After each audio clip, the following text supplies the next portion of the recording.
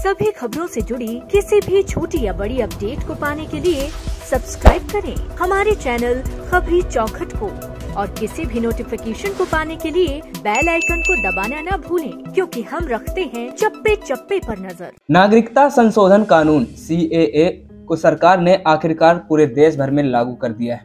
लोकसभा चुनाव से ठीक पहले बीजेपी सरकार का यह कदम काफ़ी अहम माना जा रहा है। ये वही कानून है जिसे लेकर कुछ साल पहले देश भर में कई प्रदर्शन हुए थे। इन प्रदर्शनों ने एक नारा खूब चला था, जिसमें लोग कह रहे थे, कागज़ नहीं दिखाएँगे। अब नागरिकता कानून लागू होने के बाद कागज़ वाली बात सामने आ रही है। इसलिए आज हम आपको बताएँगे कि नागरिकता कानून लागू होने के बाद क्या अब सभी को अपने कागज़ दिखाने होंगे। सबसे पहले समझते हैं कि आखिरकार सीएए को क्यों लाया गया है और इसे लेकर विवाद क्यों हो रहा है। दरअसल, इसके नाम से ज़ाहिर है कि इससे नागरिकता देने के लिए नया कानून लाया गया है। हिंदू, सिख, बौद्ध, जैन, पारसी और ईसाई समुदाय के लोग सी के तहत नागरिकता के लिए आवेदन कर सकते हैं। ऐसे ही तमाम शरणार्थियों के लिए नागरिकता कानून लाया गया है। पाकिस्तान, अफ़गानिस्तान और बांग्लादेश से 31 दिसंबर 2014 से पहले भारत आए लोगों को नागरिकता दी जाएगी। भारत में पाँच साल से ज़्यादा वक्त में रहने वाले इसमें आवेदन कर सकते हैं। अब सवाल यह है कि आखिर इस कानून को लेकर विवाद क्यों हो रहा है? दरअसल सीए के तहत मुस्लिमों को नागरिकता देने का प्रावधान नहीं रखा गया। यही विवाद की असली जड़ है। प्रदर्शन करने वाले लोगों को कहना है की भारत जैसे धर्म निरपेक्ष देश में किसी एक समुदाय को छोड़ने वाला कानून नहीं लाया जाना चाहिए। मुस्लिम समुदाय के लोग भारत में शरण लेने के